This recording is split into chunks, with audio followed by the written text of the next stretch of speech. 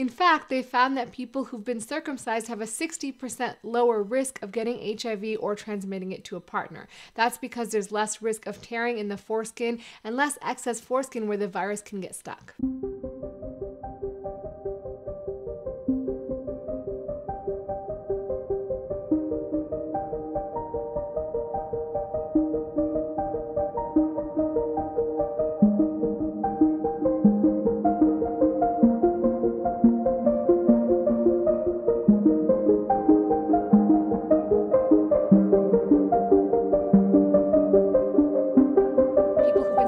A 60% lower risk of getting HIV or transmitting it to a partner.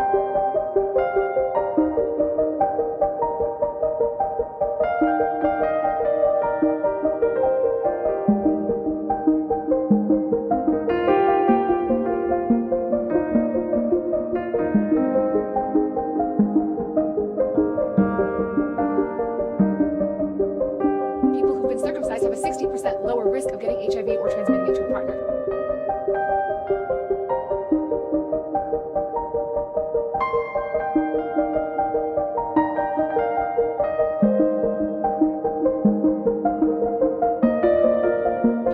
Circumcised have a 60% lower risk of getting HIV or transmitting it to a partner.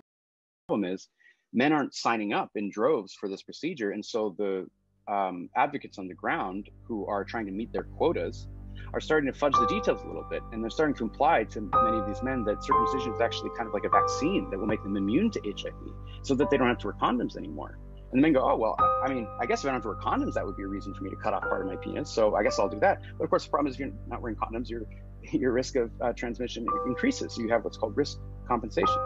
there's a whole bunch of debates about whether this is seen generally in some contexts, not in others, and so forth. But you have lots of reports of men believing that they're now immune to HIV, and so they engage in more sexually risky behaviors.